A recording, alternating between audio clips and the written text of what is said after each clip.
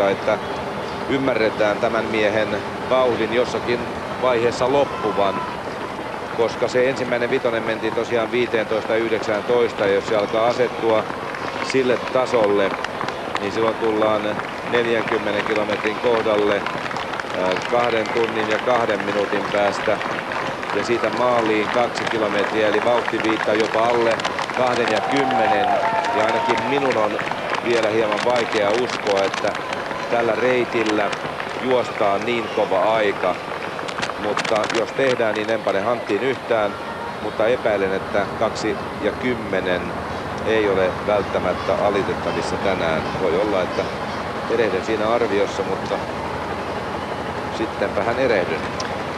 Ja sitä paitsi viime vuoden arvokisamaratonit vääjäämättä osoittavat sen kyllä, että harvoin, hyvin harvoin, jos koskaan nämä alussa tehdyt irtiotot onnistuvat.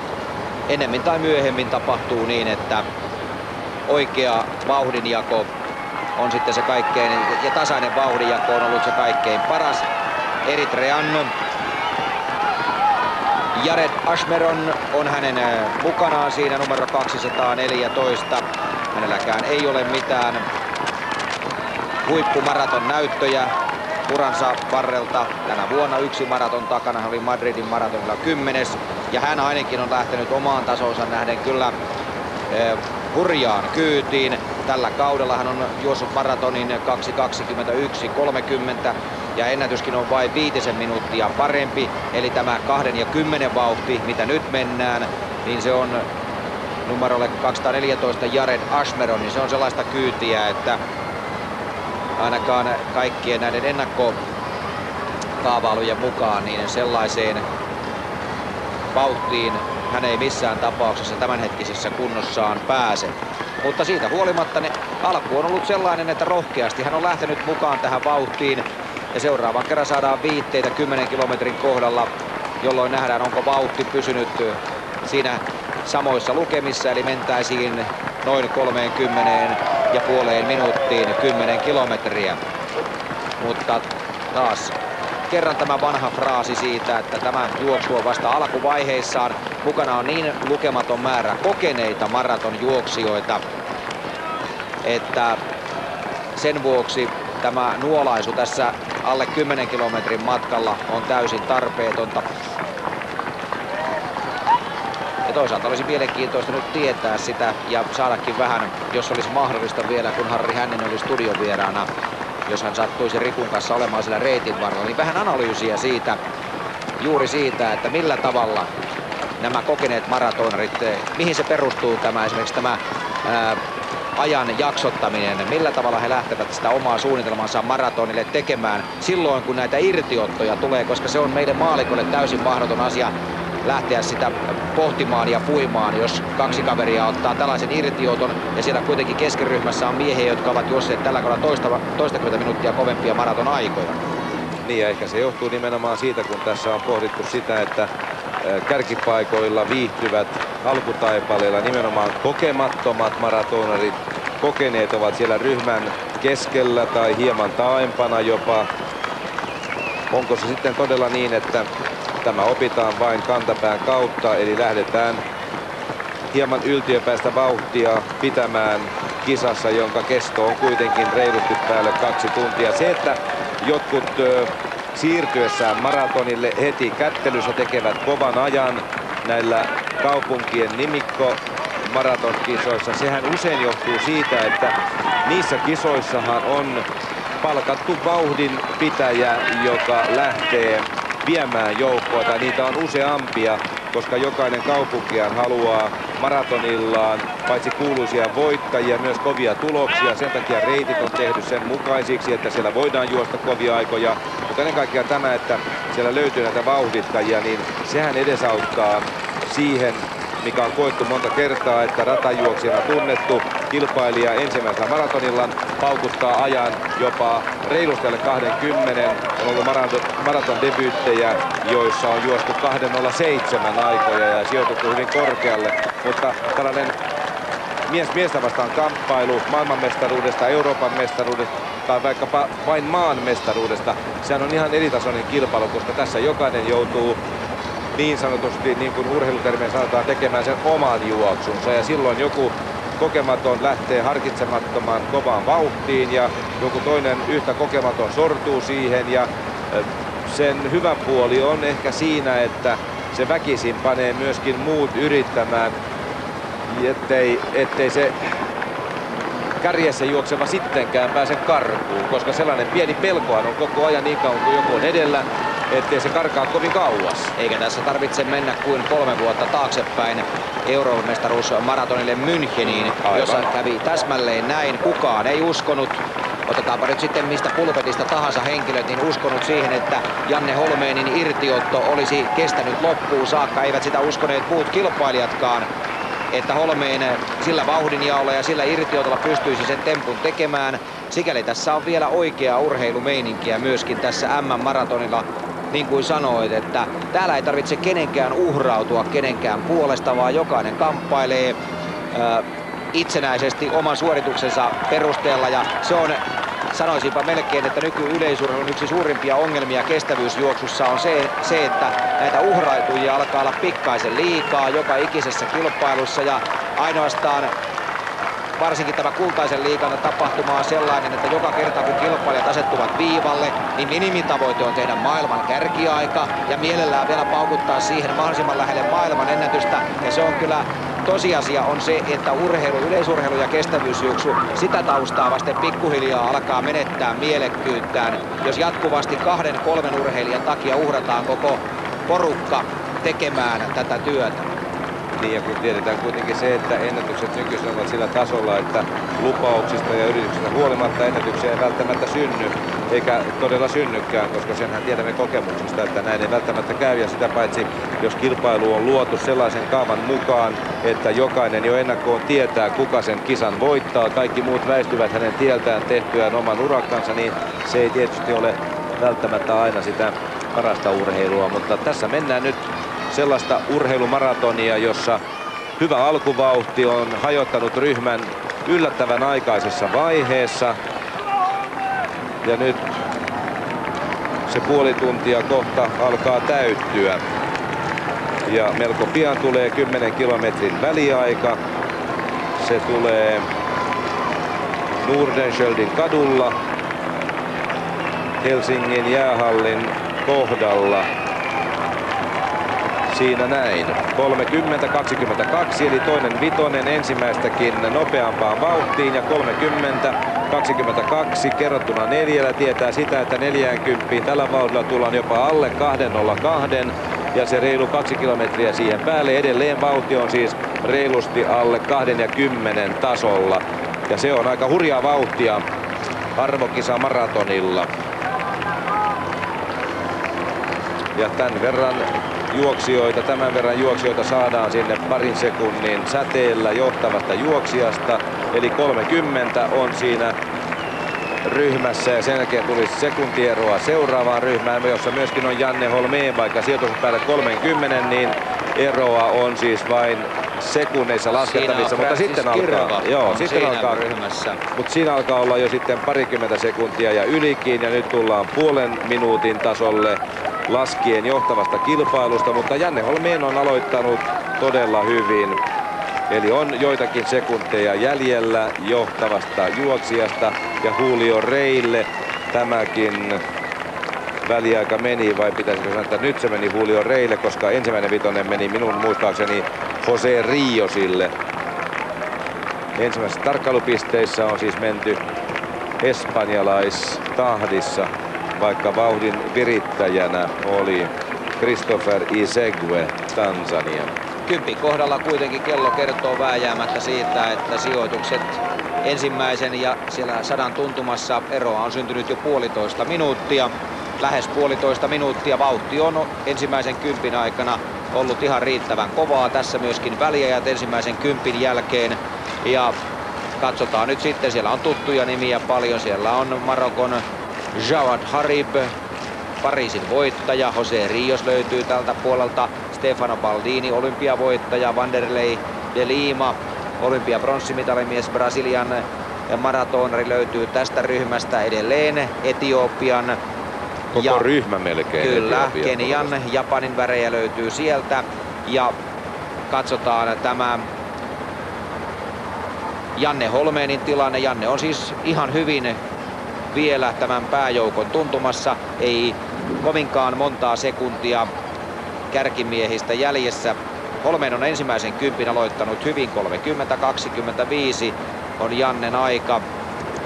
Ja se on vain muutaman sekunnin kärkimiesten aikaa heikompi. Jannelta siis tähän mennessä vahva ja hyvä avaus. Ja tässä edelleen listaa sitten eteenpäin. Voitte itse poimia nimiä sieltä, joita, joita sitten esitellään tässä, kunhan kisa nyt alkaa kunnolla edetä.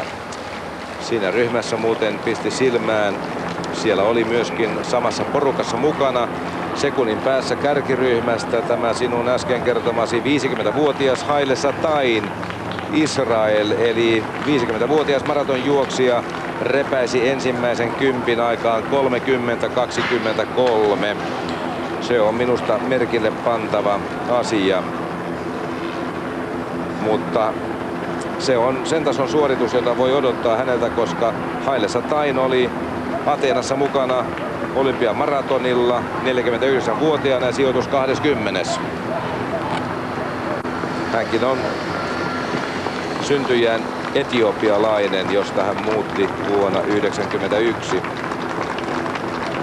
nykyiseen kotimaahansa Israeliin. Osallistui Euroopan mestaruusmaratonille vuonna 2002, sen jonka Janne Holmeen voitti ja silloin satain oli 32.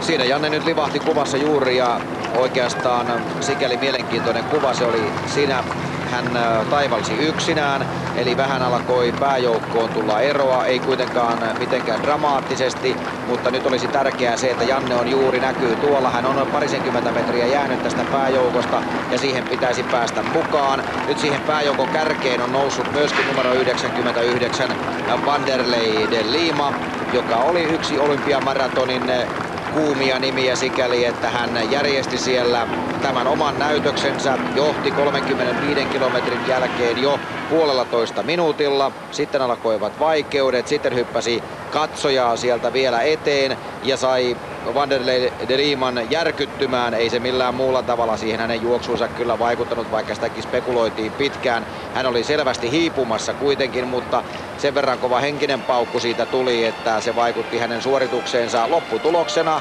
kuitenkin hieno kolmas tila olympiamaratonilla.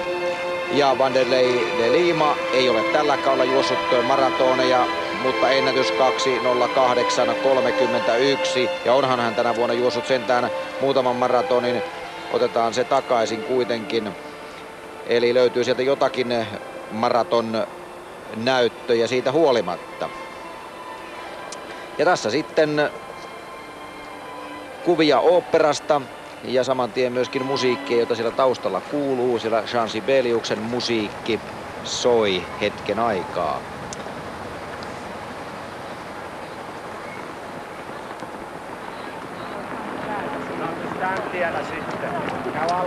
Vanderlei Liiman numero 99, hänet poimitte siitä kärkijoukosta ja Janne Holmeen näkyy mukavasti siellä pääjoukon takana nyt ja eletään Jannen kannalta ensimmäisiä hetkiä.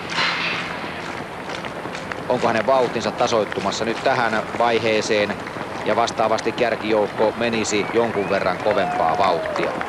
Vai onko niin, että koko porukan vauhti on hieman tasoittumassa tämän minusta edelleenkin yllättävän kovan alkuvirityksen jälkeen, jolloin mentiin ensimmäinen kymppi aikaan 30-22. Se voi olla näinkin päin, mutta sehän rauhoittaa kuitenkin meidän mieliämme, että Janne on siinä pääjoukon mukana, vaikkakin häntä paikoilla siinä ryhmässä, mutta se ei paljon häiritse, kun hän on tässä ryhmässä mukana. Se on se ensimmäinen porras Jannen osalta tässä, tässä maratonkisassa. Ja sitkeästi seuraavaksi kun lähestytään 15 kilometriä Christopher Izegve Tansania Jared Ashmeron Eritrea ovat saaneet kärjessä olla. Tässä sellainen yksi pieni asia myös on se, kun Janne Holmeen näkyy yhdessä Aldo Silvan kanssa, Brasilias maratonarin kanssa, että nämä kokeneimmat kaverit, vaikkapa Stefano Baldini, hän ei ole kertaakaan näyttäytynyt siinä eturintamassa. Ja yksi syy siihen varmasti on myös se, että vaikka täällä ei nyt niin kova tuuli olekaan, mutta tuulen suunta vaihtelee tämän reitin varallakin kovasti. Ja miksipä käyttää sitäkään energiaa tuulen halkomiseen, kun se voi tehdä hyvin tämän ison ryhmän taustalla. Ja se näkyy selvästi, että siellä eivät nämä viime vuosien arvokisan maratonilla menestyneet kaverit Vanderleiden liimaa lukunottamatta juurikaan vetojuhdan tehtävissä ole näyttäytyneet. Pian ohitetaan Finlandia talo. Ja kärkiryhmässä selvästi sellaista eloa tällä hetkellä edelleen, että sieltä pudotetaan juoksia toisen jälkeen. Ja kyllä se viittaa sittenkin siihen ehkä enemmän kuin äskeinen arviointi, että vauhti pysyy tarpeeksi hyvänä tässäkin kohdassa vielä.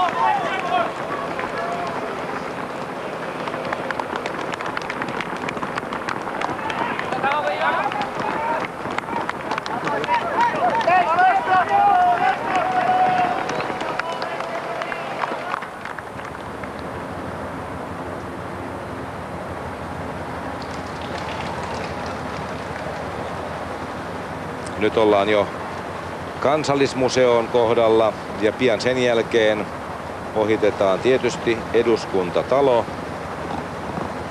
Ja sen jälkeen koukataan ylöspäin, kunnes päästään Fredrikin kadulle. Ja Fredrikin katua juostaan aina Lönnruutin kadulle asti, jossa käännytään taas jyrkästi oikealle, eli alaspäin Lönnruutin katua.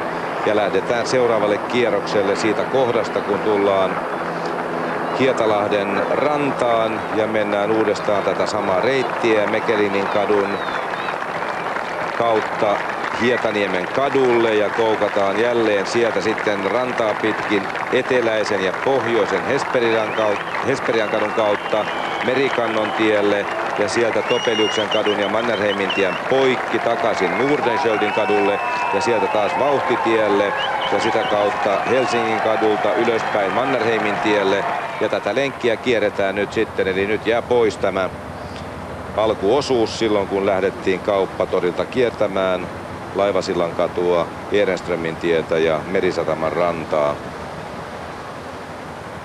Joten toinen kierros on alkanut. Jälleen Jean Sibeliusen musiikkia.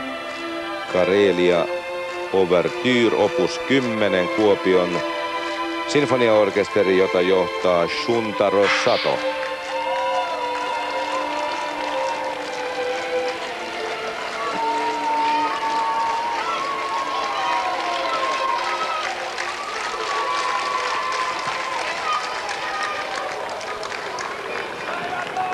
Janne Holmeen taivaltaa Clodo Aldo da Silvan kanssa aivan pääjoukon tuntumassa.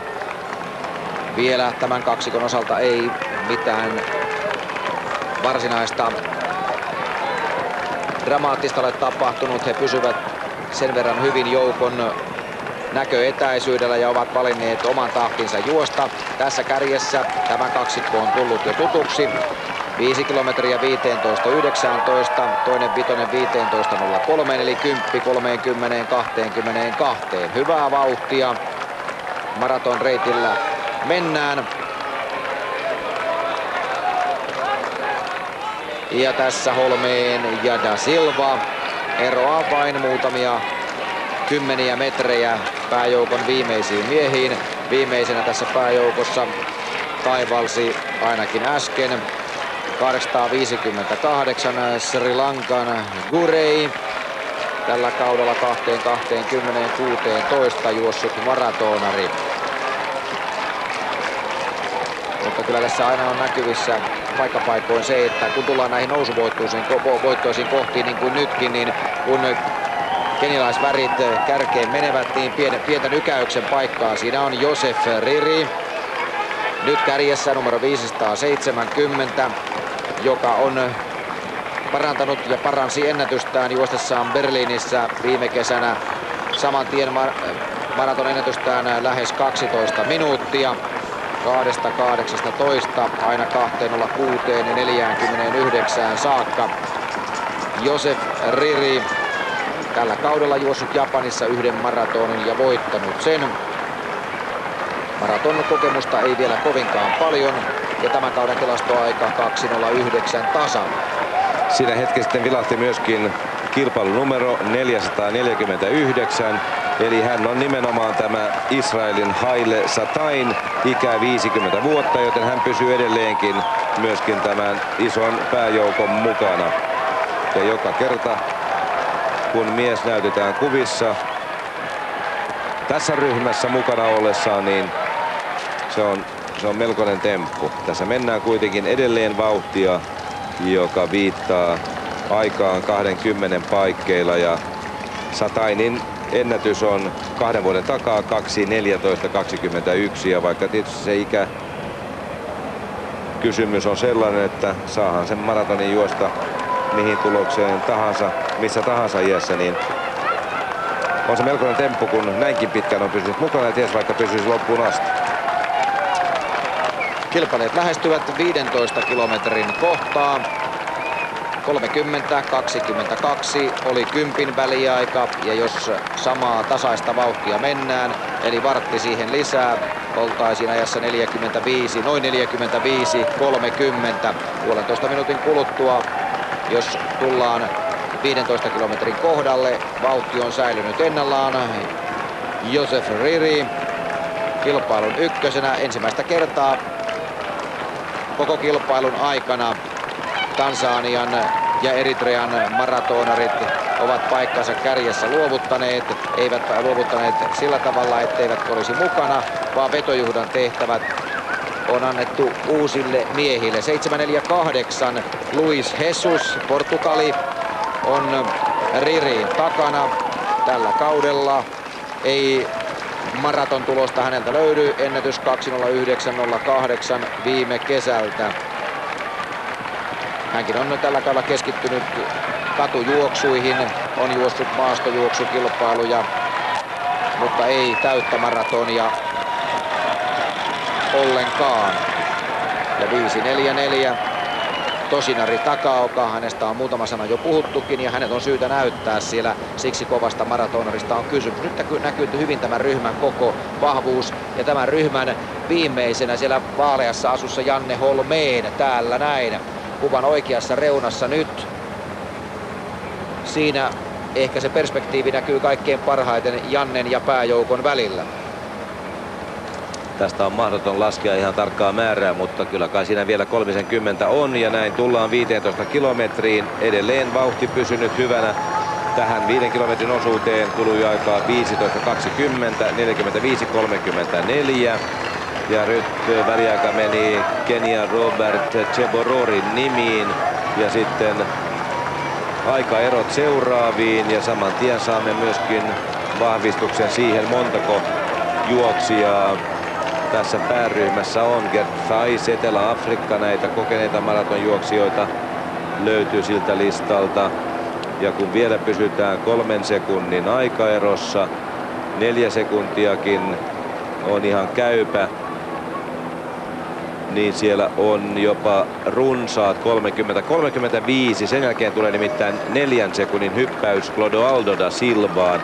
Ja Janne Holmeen on 38, mutta ei mitenkään toivottoman kaukana vielä.